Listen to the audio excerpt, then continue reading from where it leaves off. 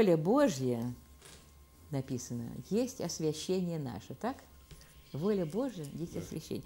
Поэтому в направлении освящения Господь сам трудится над нашим характером. Это Он дает нам силу не гневаться, не ссориться, но любить ближнего своего. И Он говорит, облекитесь, как избранные Божьи, святые и возлюбленные, в милосердие, благость, смиренно-мудрее, кротость, долготерпение. Он побуждает нас не заботиться, не изнуряться в этом бесполезном деле, но возложить все упование на Него.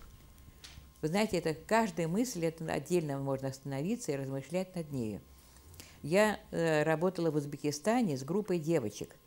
Они были многих национальностей, многих деноминаций, чудные девочки.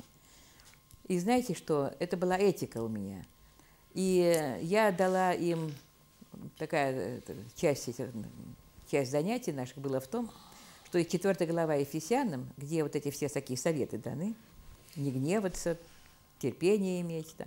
Вот, я дала так, чтобы каждая могла об этом сказать. И это были такие интересные рассказы, такого глубокого содержания, но вот одна девочка встала и говорит, прочитала стих, ей был дан, э, кто крал, вперед не кради, а лучше трудись, чтобы было из чего уделять нуждающемуся. Она говорит, я раньше работала в торговле, я воровала. Когда я покаялась, я поняла, что это делать нельзя. Не кради я восприняла довольно быстро. Но я долго не могла воспринять следующую часть. Но работая своими руками, чтобы было из чего уделять нуждающемуся. Это потребовало от меня большого и моли, большой молитвы, трудов и стараний, потому что если раньше я стремилась это все себе брать, то сейчас я должна не только не воровать, я должна от себя отдавать. Совершенно обратный процесс. Я только благодаря этой девочке я поняла, что здесь действительно о невероятном говорится. От такого движения к себе и о себе, к такому движению отдать. И она говорит, это имело такие удивительные результаты во всей моей жизни, что я теперь, когда посещаю семьи, людей с проблемами, я всегда спрашиваю, а ты уделяешь нуждающемуся или нет? То есть она это первым делом ставит вопрос. Сразу видно состояние духовного человека. Понимаете как? Потому что отдавать, говорят, это трудно, но это потом делается, вы понимаете, делается какой-то привычкой. Радость и в радости. Что говорят, я слышала такое, что люди, которые кровь сдают, и если они потом прекращают сдавать, они очень плохо себя чувствуют. У них уже весь организм настроен, э, они должны отдать. И восполнение потом идет. Так же и тут Бог восполняет. Это все, когда ты на практике все это увидишь. Вот такие у меня были чудесные девочки, такие вот Э, такое глубокое слово так переворачивает. И она так откровенно все сказала. Я была вот так, сейчас я поняла совсем по-другому. И вот это вот, Бог дает нам, Дух Святой дает нам силу не гневаться, не ссориться. Ну, потому что вы знаете что? Да, научный взгляд на старость, мы говорили с вами, что люди добродушные – у них легче к старости, они в старости приятнее. Да, чтобы не, не, не ссориться, да, чтобы э, иметь милосердие, чтобы иметь терпение. Но вы понимаете ли, э, провозглашая эти истины, не, да, не дано никакого пути, как этого достигнуть. Самое большее, человек начинает работать над собой, соверш... самосовершенствование.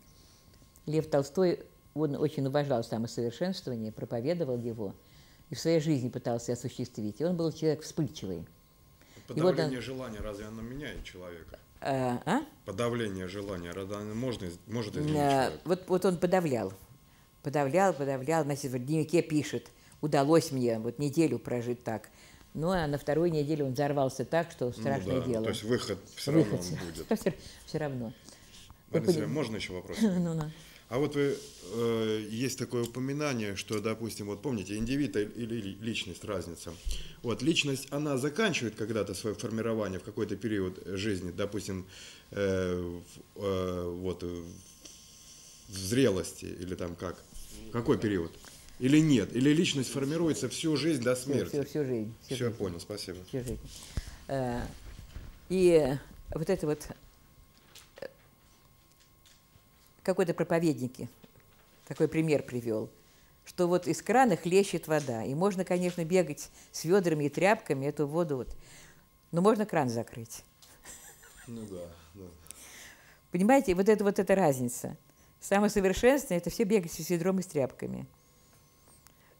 А кран закрыть – это когда ты Бога предоставляешь. Причем здесь вот какая интересная закономерность. Если ты хочешь от чего-то избавиться, это я уже делюсь как опытом, потому что все,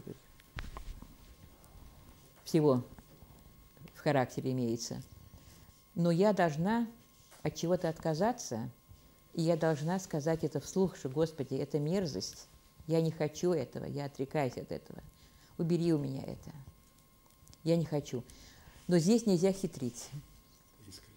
То есть я говорю, а я на самом деле не, держу это все у себя. Подсознание где-то, люблю это. Да? да. Вы понимаете, когда я искренне отказываюсь, происходит, э, достаточно это исповедать.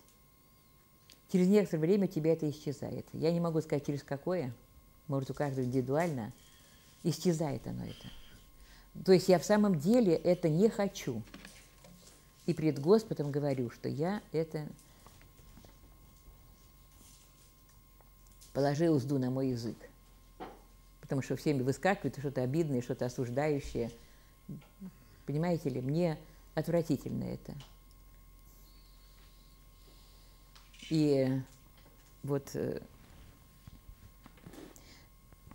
Господь это все сам делает. Я не знаю, как Он это делает. Тут точно так же, когда обиду мы приносим, убери эту обиду, она уходит, обида. Просто вот я в каком-то курсе, то ли в вашем, то ли нет, слышал вот заповедь «не возжелай», допустим. Если я буду ходить и говорить себе, не, я, я не буду желать, я не буду желать. Я это, не... это бесполезное дело, Это да? бесполезно, то это наоборот, наоборот, да. это под, под, подвигает к тому, чтобы возжелать.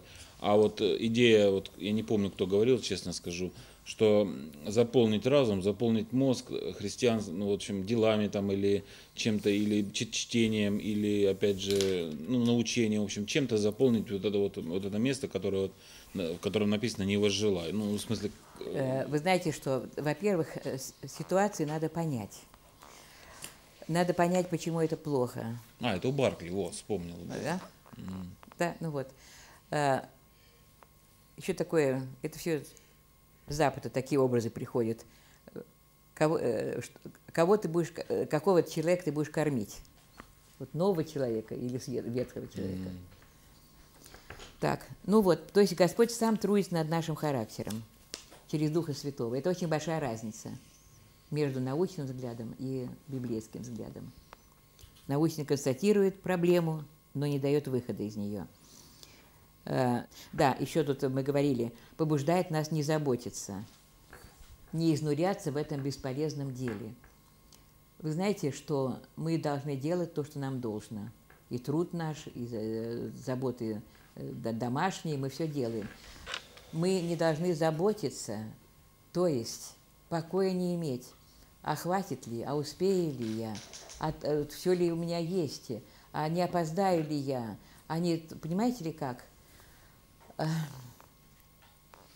мы никогда не знаем, что из чего произрастет, что к чему приведет, какой будет конец того начала, которое мы начали. Я никогда иду в лесу, я выбираю дорожку или эту, или ту. Ну, я, допустим, избрала эту дорожку, но я не знаю, что там будет. Там будет болотина, там будет овраг какой-нибудь, э, э, тупик. Что там? Я не знаю. И поэтому вот это, когда мы идем по жизненному пути вот с доверием Господу, помолившись, предавший Ему путь, мы идем. Большое дело начинается с малого пожертвования. и пятью хлебами можно накормить пять тысяч человек. Поддержите наш проект молитвой и финансами. О чем молиться и как пожертвовать вы можете узнать на сайте www.tvseminary.com. Заботиться – это все равно как качаться в кресле качалка. Движение есть, а никуда не прибываешь. Ну, движение есть. А пользы никакой. А пользы никакой. Поэтому э, возложить упование на Него. Предать путь. Мы всегда, когда в путь идем, мы всегда же предаем путь. Потому что мы не знаем, что и как там случится у нас. Господь собирает верующих в церковь. Это что-то совершенно удивительное. Мы все найдены Богом где-то, как-то, а потом Он собирает нас в церковь. И дает каждому большую семью. Господь сказал, что Он одиноких вводит в дом. Вы понимаете что проблема одиноких людей решается в церкви? В церкви нет одиноких. Обеспечивает каждому широкий круг общения. Это место, где пожилые могут общаться с молодыми. Детям он дает защиту. В каждой церкви есть служение милосердия, чтобы старый не был оставлен без внимания. Никто не умирает в одиночестве. Вдовы получают утешение, бедные накормлены. Вы знаете, что это удивительно просто, как Господь об этом заботится. Я помню, когда мы была у нас этот, я сейчас забываю, как это называется, то когда э, мигом упала ценность рубля, и я поняла, что я могу купить только буханку хлеба на всю Девальвация. зарплату. Как? Дефолт. Дефолт. Нет, нет, это дефолт уже. Ну Вот. Ну, в общем, и понимаете ли, и как тогда начали приходить посылки, и посылки приходить из Германии с простыми вещами. Мука, крупа, масло подсолнечное. И как раздавали всем в церкви и всем в округе делились. Сейчас это у нас продолжает делаться, но для неимущих. Церковь имеет эту заботу. Вот. И в церкви много долголетних людей. У нас раз в месяц поздравляют тех, кому э, круглая дата, там 60, 70, после 80 каждый год празднуют, отмечают. И вот, значит, брат выходит читать и читает по порядку. 104 года, 102 года. Ну, их уже, как правило, в церкви не бывает, они дома, но они есть у нас. Но они еще в Да. церкви, да. Их, конечно, домой пойдут к ним с коробочкой конфет да. и с открыточкой. Но они в церкви много долголетних людей. Э, И еще, вы знаете, что есть комплекс неполноценности? Такой комплекс есть у людей мира этого. Это очень распространенный. Когда человек низко оценивает сам себя, и от этого и другие низко оценивают его. Так вот, верующие, они не должны страдать от низкой самооценки. Бог сказал каждому, ты дорог, многоценен в очах моих, и я возлюбил тебя. Это сказано для каждого. Ты дорог, многоценен.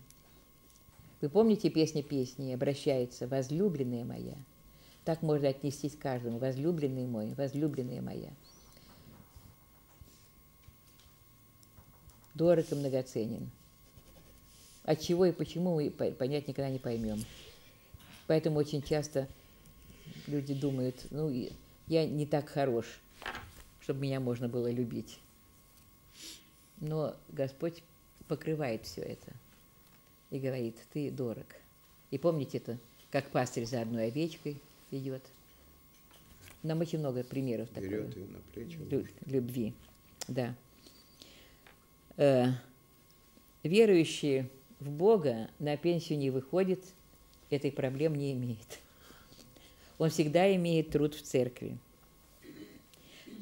Самый драгоценный труд для старых, это я стала недавно осваивать, молитва. Старому человеку легче молиться, чем молодому.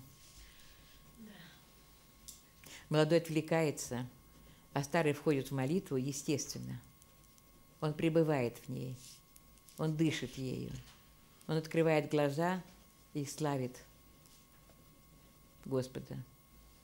Он принимает пищу, он славит Господа. Он встречает своих друзей, он благодарит Господа за них. Это постоянная молитва. Это, э, причем это появляется в старости как-то, как дыхание. Кризис жизни, ученые обратили внимание, то, что мы говорили, кризис жизни, там, середина возраста, да, 60-65, выход на пенсию, кризисы. Это ученые заметили. Но для верующих это, знаете что, это моменты, когда происходит больше всего покаяние. Это во благо они оборачиваются. Временем покаяния и спасения становится. И еще во внутреннем мире верующего человека происходит выработка нового мировоззрения, самоопределения, самопознания, познания Бога. Это счастливое время. Ну вот и последнее отличие – это то, что во внутреннем мире верующего человека происходит выработка, все время выработка мировоззрения, самоопределение, самопознание и, главное, познание Бога. Это его счастливое время. Я хочу подчеркнуть э, выработка мировоззрения. Мировоззрение верующих людей отличается от мировоззрения мирского. И получается, что верующие люди, они всегда особенные, плывущие против течения, имеющие на все собственное мнение, библейское мнение, и э, живущие соответственно тому, что Господь говорит. Это часто приходит в противоречие с тенденциями жизни окружающей, общества – Вы знаете, что э, Горький, наш писатель, он э, сказал, такие, психо, такое психологическое наблюдение сделал, что э, характер человека вырабатывается, вообще человек, э, человек формируется, человек формирует его сопротивление окружающей среде. Человек, которого окружающий мир вылепляет – по своему образу и подобию, это человек неинтересный, это человек пошлый, это человек толпы. Все за мясом, и он за мясом, все за, за чем-то еще. Понимаете, вот такая вот толпа. А человека формирует его сопротивление среде. Так это касается прежде всего высшей степени верующих людей. Сопротивление среде. Когда ты не бежишь со всеми, не ходите с большинством, говорит Господь. Не участвуйте в мятежах. Не ходи за большинством. Вырабатывается свое мировоззрение, самоопределение, самопознание и, главное, познание Бога. Поэтому время земной жизни верующего – это счастливое время, особенно в старости.